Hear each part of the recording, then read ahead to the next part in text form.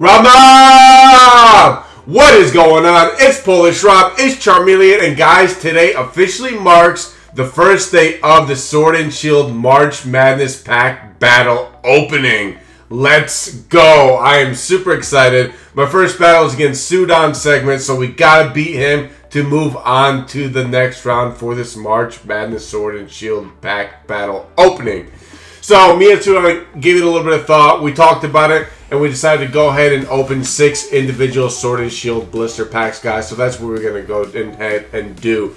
I know he picked six of his. I know he's just doing this video as well, and I'm pretty sure he's good at picking packs and getting great pulls. So I'm also to put his video below in the description, and then probably in the eye above. That way you guys can go ahead and click on his video and find out what he pulled as well. But hopefully we can go ahead and beat Sudon, move on to the next round, and get as far as we can in this tournament. So I am super excited. Today marks the first day. I know Charmeleon is excited. So let's go ahead and open some of these packs. Now I know that you're wondering how are the point system going to work. Well basically every single pull that we get whether it's a reverse hollow rare, a gold card, a hyper rare, an ultra rare, it's all going to accumulate to some points. So at the end of the video I'm going to go ahead and count all our points up and see how much we got and see if we can beat Sudon himself. So guys, stick around. We're opening these six blister packs. Let's go ahead and get some good pulls, some hyper, some gold cards, and move on to the next round. Let's get it. Alright, Rob Mob, so we have our six blister packs. I'm going to go ahead and set them down in front of my phone camera. We're going to take a look at them. We're slowly going to open them and see what kind of pulls we can get. I'm super excited about this. I'm really hoping that we can get some monster, monster pulls. That way we can go ahead and move on to the next round and hopefully be king of the March Madness tournament.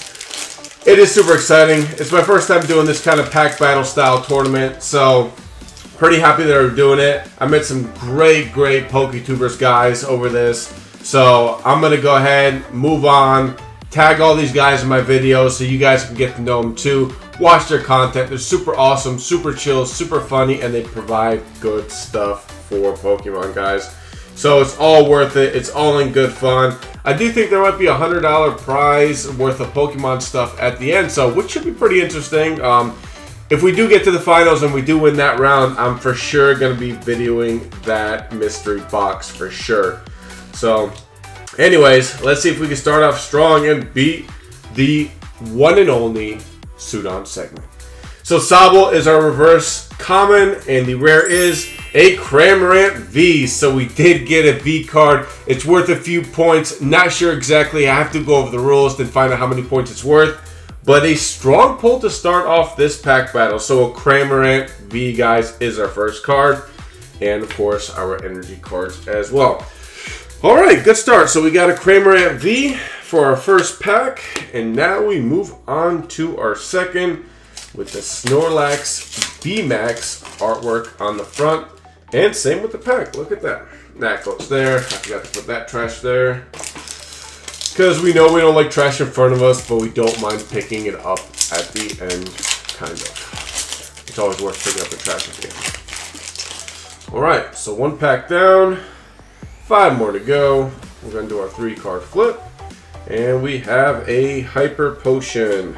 Let's get that in focus. Citrus Berry, Corvisquire, Cufant, Baltoy, Salandit, Galarian Ponyta, Minccino, Rhyhorn is the reverse common, and the rare is a Whimsicott non-holographic. Oh no! Oh no, did that affect the point system? I think so. I don't think we get gained anything from that pack, which is not too good. Kind of worrisome. I wonder what Sudon is getting over there. By the way, our videos are going to post at the same time. So if you get a notification from mine, after you finish watching this video to the end, make sure you click on Sudon's and watch his as well. So you guys can play with us and see what you think, the or who you think the winner may be. So make sure you click on his video after you are done watching mine and find out what kind of pulls he got as well. Wooloo, Shellder, Boltund is the reverse rare, so we got a reverse rare. That counts for, for uh, reverse hollow rare, so that counts for a good amount of points. And a rare card is a Tapu Koko V, guys. All right. So the second pack wasn't too much, but the third pack comes in clutch. So we got a Tapu Koko V card And we got a Boltund Reverse Hollow Rare. Awesome. I know that's worth some points. So, whoo! All right. Makes up for that second pack. Let's see if the, or yeah, makes up for the second pack. Let's see if the uh, fourth pack gives us any luck also.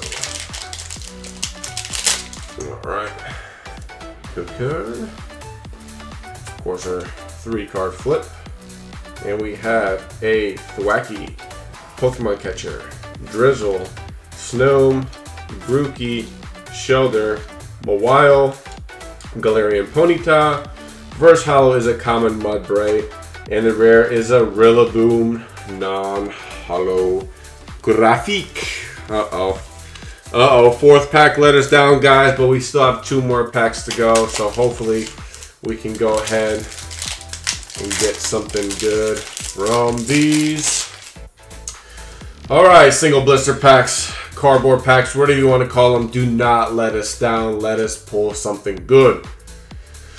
Woo! All right. Galvantula, Air Balloon, Pokekid, Joltik, Silicobra, Blipbug, Goldeen, Yamper. Reverse Hollow is a uncommon Eldegoss, and the rare is a Gengar holographic. All right, so still a hollow card. So I do think it counts for a little, little, little bit of something. But we have one more pack to go. Guys, what if this was a gold card? God, would, or a hyper, that would just send us all the way to the top. But we'll see. We'll see what we get, hopefully. Hopefully it's something, something, something good. Alright, so that's the code card for y'all.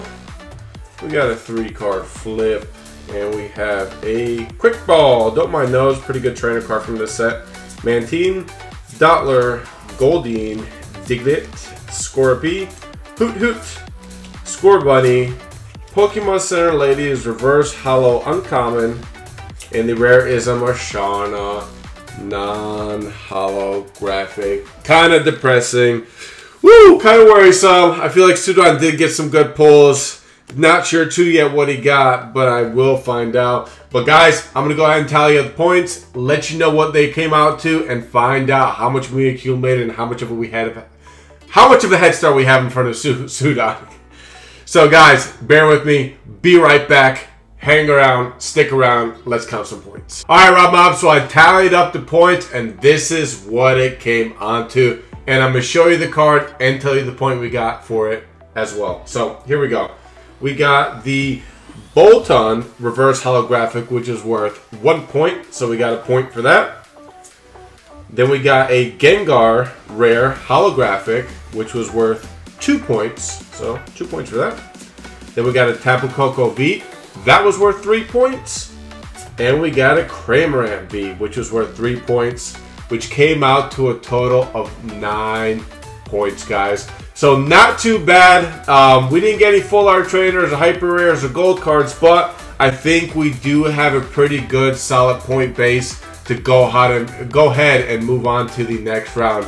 Best of luck to Sudon segment. Hope you got some fire pulls as well, but may the best man win and move on to that next round. Guys, hope you enjoy this content. Hope we can move on to the tournament. Hopefully we can get there to the end, and hopefully you guys are enjoying this style of pack battle as well. Rob Mob, you know how we like to say our goodbyes on this channel. So until next time, I'm out.